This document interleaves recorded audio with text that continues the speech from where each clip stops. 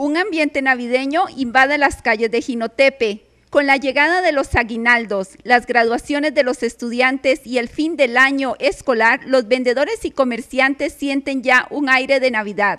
Uvas, manzanas, juguetes, accesorios para adornar las casas con motivos navideños y toda clase de artículos se ofrecen en la ciudad de Jinotepe. vendemos tal media libra de uva, que por allá una libra, media libra, cuatro onzas. ¿Y usted cree que va a haber un cambio? Vamos a ver, tal vez para estos días de diciembre, tal vez. Pues bueno, todos creo que estamos esperando, ya desde hoy hay, se mira más movimiento en el mercado, eh, eh, la gente. Hay aguinaldo, ¿verdad? Sí, el, aguinaldo, lógicamente, los bancos están llenísimos, total.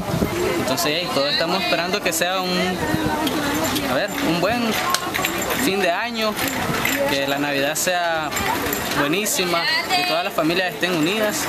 Creo que eso se espera. sí. ¿Sí? Se está vendiendo un poco más. Gracias a Dios. ¿Y esperas para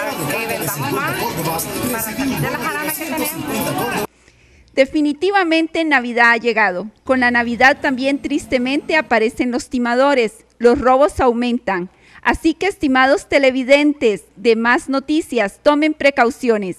Eviten caminar con cantidades fuertes de dinero. Desde Jinotepe, Carazo, con imágenes de Eliezer Blas, para más noticias en menos tiempo, les informó María Ángel Quirós.